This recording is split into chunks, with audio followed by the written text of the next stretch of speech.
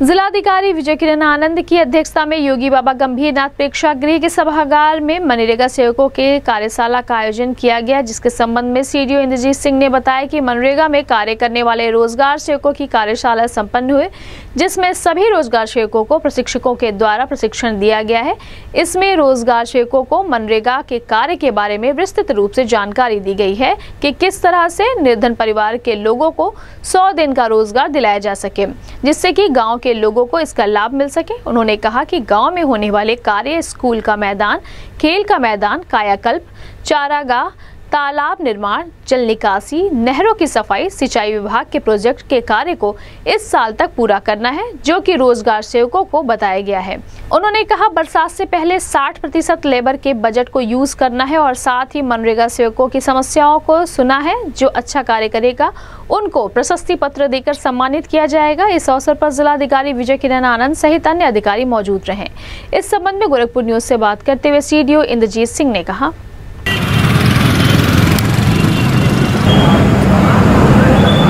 उसके चिकित्सा के लिए, बीमा के लिए, श्रम के लिए और पानी बिजली के लिए। इन सारे के लिए हम उसको केसीसी के द्वारा लोन दिला सकते हैं। से उसको एक लाख साठ, आगे बताऊँगा, एक लाख साठ हज़ार रुपए तक, एक लाख साठ हज़ार रुपए तक बिना किसी गारंटी के उसको लोन दिया जा सकता है। रेट ऑफ़ इंटरेस्ट देना होगा इसमें।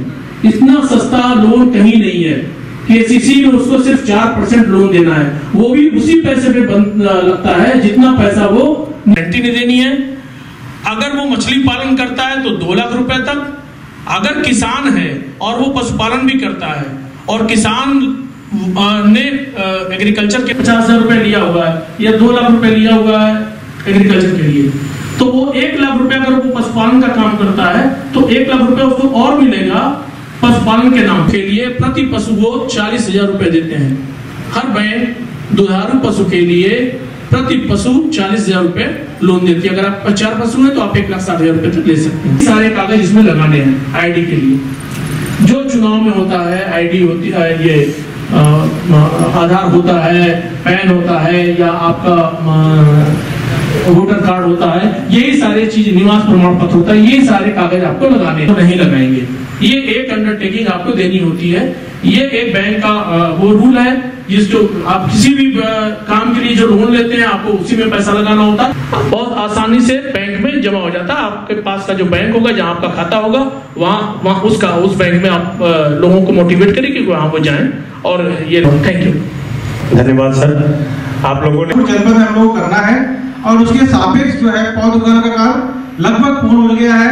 उसकी निराई गुड़ाई और रक्षण काम चल रहा है। तो आप लोगों को फिर से आप तैयार करें, ताकि जो वहाँ की जलवायु है, मिट्टी की जो रूप है, उसी अनुरूप हम लोग पौध आप लोग को दें और आप लोग उसको उपयोग करके ज़्यादा से ज़्यादा सिमिलर है, गड्ढा खोद के छोड़ना।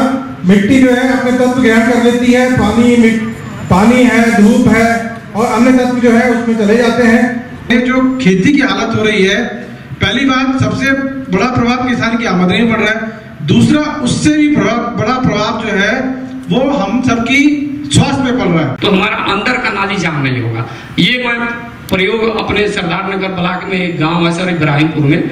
तो वहाँ पे प्रधान जी खुद बहुत ज़्यादा उत्साहित थे कि सर को प्राप्त करिएगा। एक फ़िज़िकल कॉपी में अनुरोध करूँगा सभी वीडियोस इनको फिजिकली प्रिंट आउट कर लेके दे दें। सारे विषय के बारे में मैं उम्मीद करता हूँ कि सभी अभी तक के जितने भी हमारे वर्क प्लान डिज़ाइन एस्टिमेट्स दिए गए थे, उसकी एक कॉपी आपको दी गई है खंड विकास अधिकारी द्वारा। कितने लोगों को हमारे सारे जितने भी संपत्तियों के बारे में आज बताया गया है, चाहे वो खेल मैदान हो या चारागाह निर्माण हो, वृक्षारोपण हो, मत्स्य पालन हो मुर्गी पालन बकरी पालन हो तमाम तरह के करीब बीस से ज़्यादा संपत्तियों के बारे में बताया गया था, दिया गया था, लिखित में जारी किया था, उसकी कॉपी मिली है। निसंकोच होकर हाथ उठा के बताइएगा। अगर मिला है, नहीं मिला है तो मत उठाइएगा। नहीं मिला है। ज़्यादातर लोगों को नहीं मिला है तो खंड विकास अधिकारीगण ये दर्शाता है कि आपका समन्वय कैसा है। आपका खंड विकास कार्यालय का माहौल क्या है, ये बहुत ही निराशजनक बात है। गाँव की कड़ी को जो आपके हाथ और पैर हैं उनको अगर योजनाओं की जानकारी नहीं होगी और एक कॉपी फ़िज़िकल भी नहीं मिलेगी। इस तरह का कार्यशाला हाँ, आज रोज़गार सेवक जो मनरेगा में हमारे हर गाँव में काम करते हैं इनका एक कार्यशाला ट्रेनिंग कैपेसिटी बिल्डिंग के लिए कराया गया है। सारे रोज़गार सेवक को गंभीरनाथ ऑडिटोरियम में प्रेजेंटेशंस दी गई है अलग अलग एक्सपर्ट्स के द्वारा। इसमें इनके खुद के कार्य और मनरेगा में जो इस साल का बजट उसमें क्या विजन है और किन किन परिसंपत्तियों का सृजन करना है, किस तरह से डिमांड कैप्चरिंग करके जो अति निर्धम परिवार हैं, उनको सौ दिन का रोज़गार दिलाना है।